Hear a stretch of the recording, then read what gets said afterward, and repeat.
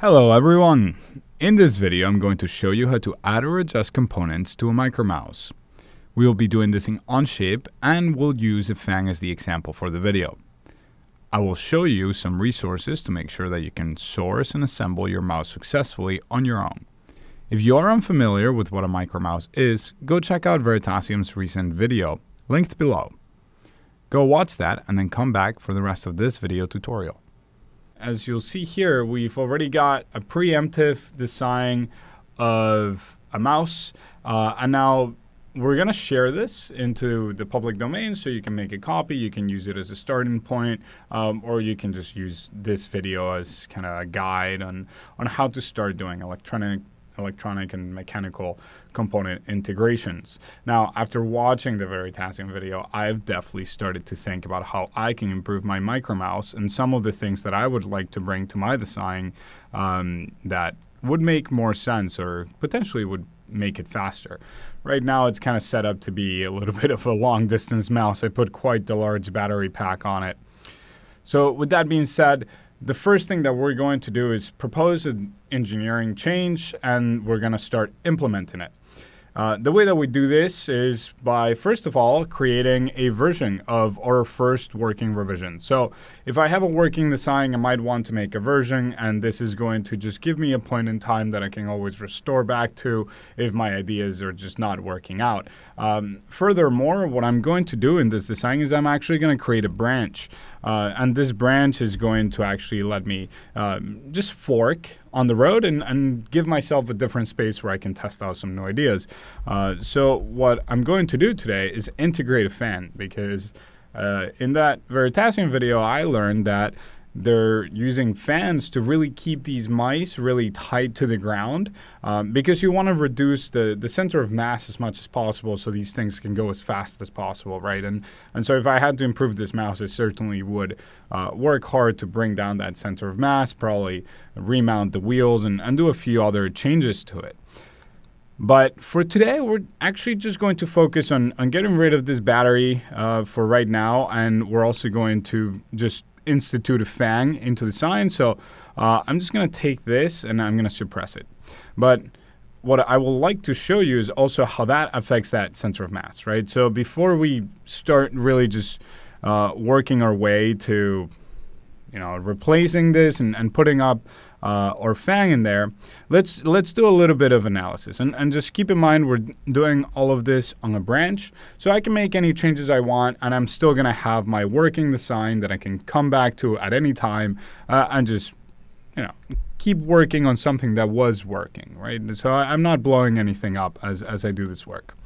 So as I select all my parts and I open up this measuring tool here at the bottom, which is covered by my face right now, but you should see is it looks like a balance. Uh, you'll pop up this panel.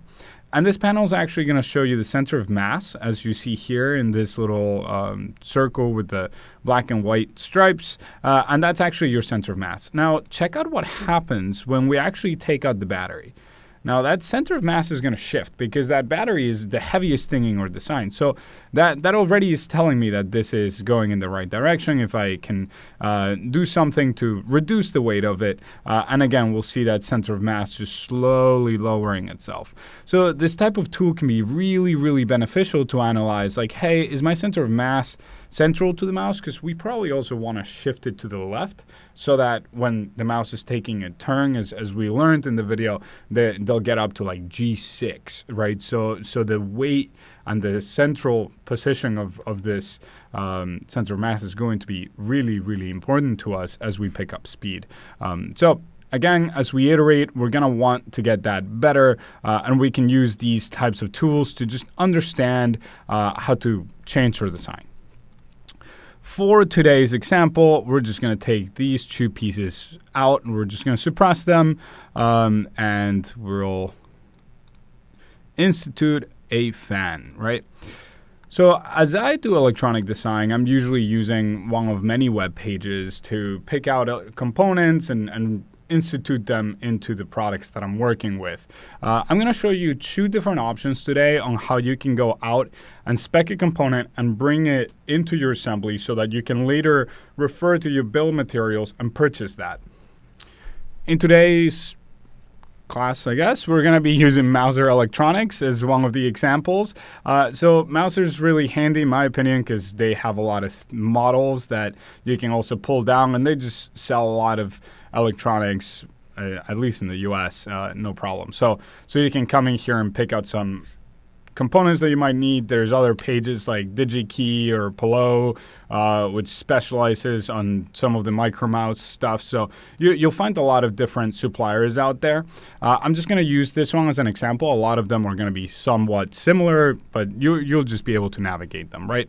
The first thing I want to make you aware of is that a lot of the time when you're looking at these components, there will actually be CAD data that you can download and just throw right into Onshape so that you can actually test how that CAD data looks. So here in Mouser, you actually see the ECAD model. So this allows you to download both the 2D schematics if you're doing electronic design, uh, as well as the 3D models for these components, right? So if I actually wanted to bring that part in there, I could just select, hey, I just want this device, download the CAD model, I just want a step of it, uh, and you can throw that into CAD. So, so that's really easy to do.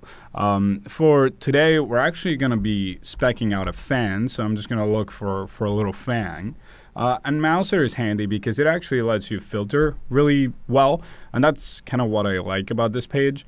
Um, so I'm actually just going to go for a fan that has a width that I'm looking for. So I want something that's around 30 millimeters, uh, and I'm going to apply that as a filter. So that's going to be the main thing that I'm worried about right now is going to be just how big is it, um, and and that's the the decision making is going to come from from how big my fang is going to be. So we could choose something like this, right? 30, 30, 10 millimeters might be a bit thick. Um, so we might want to respec something that's maybe a little bit less thick, right? So let's go into seven and a half millimeters. That seems like a good size. There we go, 30 millimeters square and 7 millimeters height. So I like this component. Let's say that I want to pick out this fang, and this is what I'm going to use to install um, in my in my mouse. So I can kind of inspect that uh, part that I'm going to bring to my design, and I can purchase it if I want to. Now, something to notice is that not every part is going to have that 3D CAD data. Um, don't be too worried about that because we can CAD this really quick.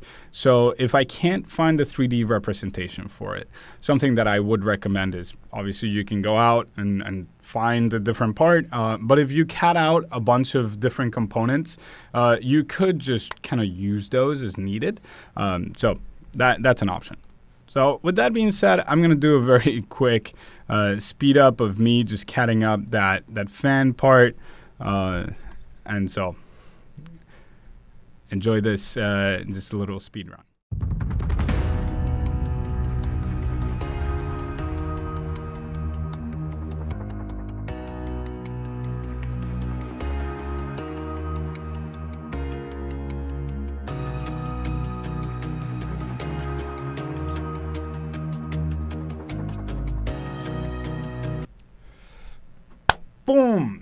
All right. Uh, and so we've got our little fang. I hope you enjoyed that little speed run. Uh, it doesn't need to be anything super complicated, right? We we just wanna we just wanna have a representation of what this is going to look like, um, so that we can install it. Now, this is kind of where things get interesting, right? You you've got your fan. Now, what you want to do is you want to go in here and you actually want to take the the number for this component because when you go to order this, you're going to want to order it under that number. So you can call this, well, you, you could even add the description for this fan, right? What, whatever it is, it, it's going to it's going to give you some good information you can refer back to later when you're designing.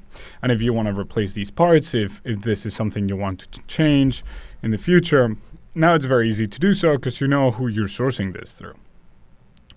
So very quickly, you now have a part that's fully defined. And so if you ever need to make any changes to it in the future, you know where to go.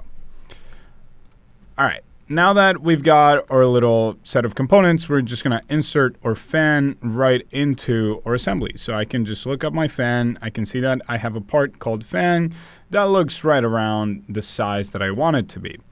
So to install this into or design, what we can do is we can just say, hey, I actually want to meet this somewhere along here. Um, I'm going to use a random mate connector because what I can do now is I can actually offset this mate connector and I can drive this geometry into the spot that I want it to be. So as we've already kind of talked about, I do want it to be central. Um, and then I'm going to move it, let's try 10 millimeters. That's in the wrong direction. So let's try negative 10 millimeters, and that's too far. So quickly, I can kind of hone in on, on where I want my fang is going to be right in the middle. Now, with this being said, and actually my fang is, is backwards now, so I need to reassemble that really quick. Let's let's redo this. I I was lazy and I picked the the bottom side of it, but it, flipped my fan. So let's put it in the right orientation and then just offset it again. Now that my fang is assembled, I need some holes for it, right? Because we need to bolt it down, we need to uh, install it into the design that we're working with. How do I do that? What I can do is I can say, hey, I actually need to edit my board in context right? So editing context is going to allow you to select the context of the assembly and bring that into um, a part studio environment and that's going to allow you to do some edits very quickly. So as i edit in context i can say create new context that's going to create a context for my assembly and quickly you can see that i actually now have that in here. So usually I would go into a sketch that I already have working. I like to define a lot of stuff inside of one sketch, but for clarity, I'm just going to create a new sketch so that you can really see what it, what's going on. So I've created a new sketch on the face of the board, which is the part that I'm editing right now. Just to be clear, I'm editing this board. Uh, and now I need the holes for the fang, but I also need to make a protrusion so that the fang can fit in there. Um, and, and that will eventually break that mate that I created because I'm going to get rid of one of these holes that I used to mate it. But that's okay. We'll we'll, we'll fix it um, pretty quick once we get back into this in that assembly. So I'm going to use the use tool or the project tool, and that's going to make very quick work of this. Now I can go in here and I can say, hey, I actually also want to use. Ah, see the the circumference of the circle is kind of broken because we put those little uh, pieces of geometry there. So what I'm going to do is I'm just going to kind of generate those, and then I'm going to create uh, a circle that just fits.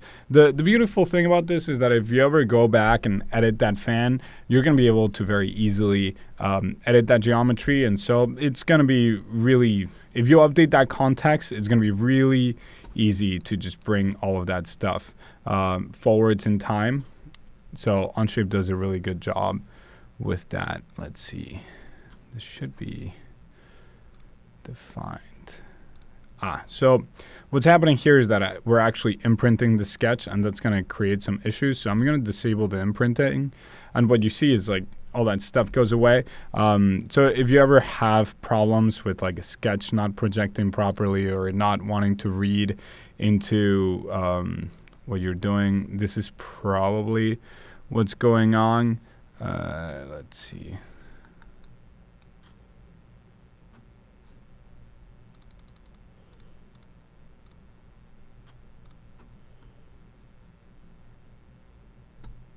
Ah, solid. I was very confused.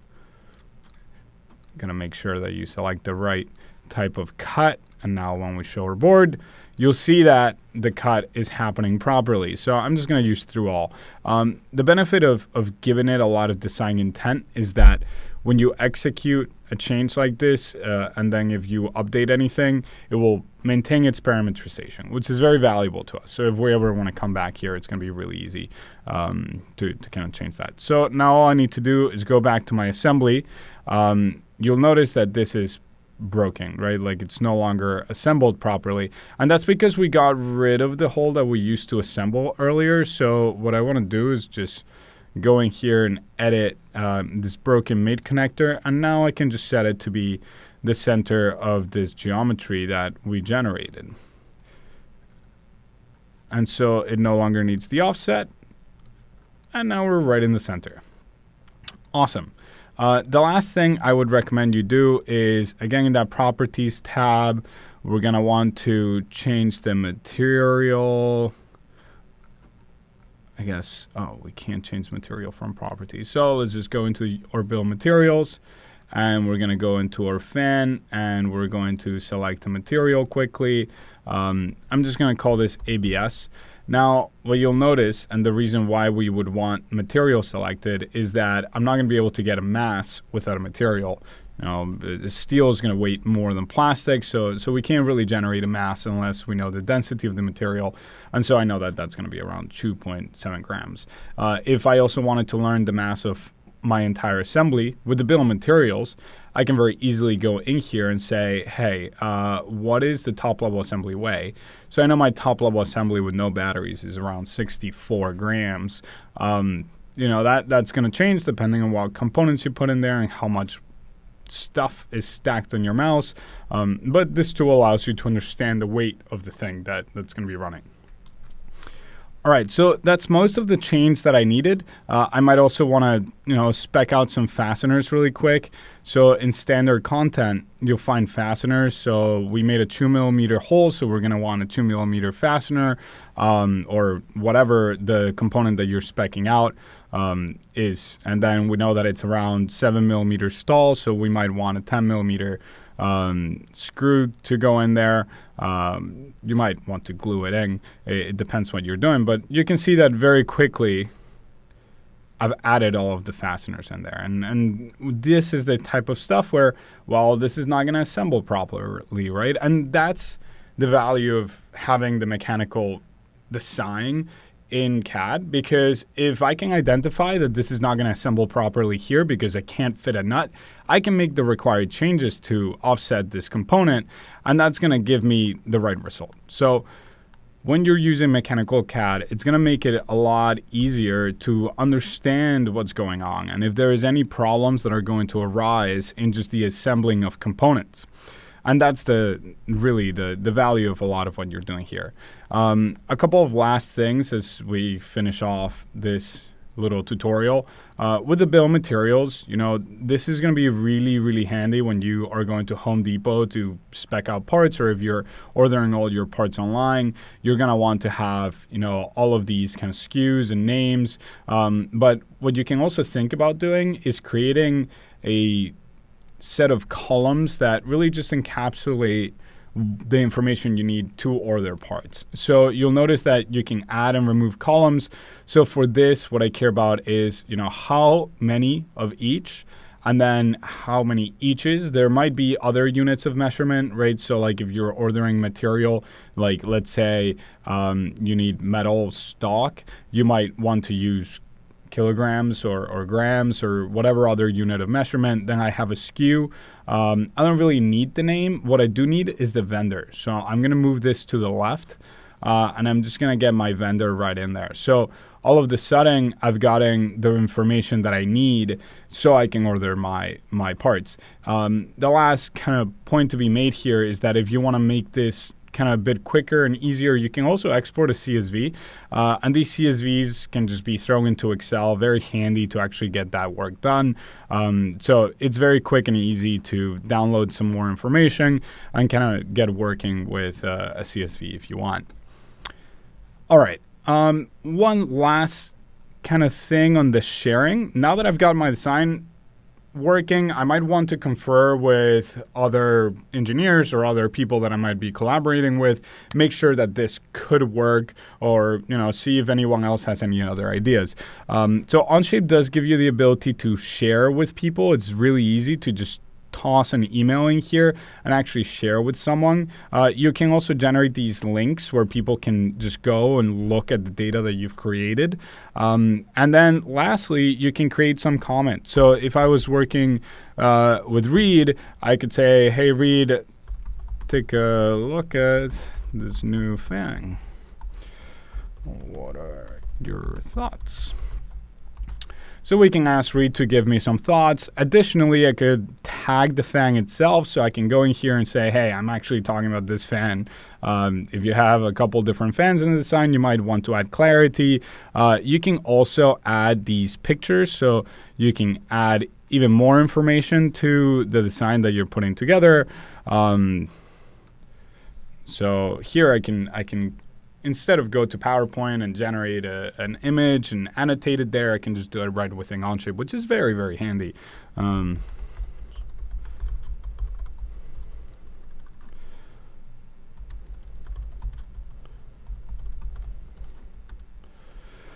Sweet. So adding that picture, I can now post that comment and Reed will receive an image comment and he also will receive an email letting him know that, that I commented him on this. And now he can open up the mouse and actually check out, hey, like what's going on? What, what are we doing with this thing? Um, so it's very simple for him to actually just pop in here. Um, oh, he actually is online right now. We can stalk him. Uh, I don't know if he'll start navigating, but this is follow mode. So as I posted that comment, he got the email and clearly jumped into this document to check out what's going on. So he's actually navigating it right now. And so I'm not touching anything. This is just Reed um, looking at the design. So he can come in here and actually check out what we're doing as well. Now, as we finish this design, I might just want to make another quick version, added the fan, and I might want to integrate that into my main version. So if I wanted to bring those changes back into those, uh, into the main version of the design that I'm working with, I can actually go in here, right click, and say merge into current workspace. And this allows you to merge things from one branch to the other and just bring your design forwards in time. So very quickly I can say, hey, merge that in, and boom, we've now replaced our battery with a fan. Super quick, super easy. All right, so I've gone through a lot of different content. I hope that this was useful to start thinking about integrating mechanical design with electronics. There is a world to be explored. Um, super highly recommend that you go to um, Veritasium's channel and check out their video. Uh, if you like this tutorial and you want more content like this, please let us know. Uh, if there is any content that you really are uh, looking for, you know, add a comment. Let me know what to do next. Um, it's great to see you guys as always. Thank you for making it to the end of the video. Remember to like, follow, and share. All right, see you next time.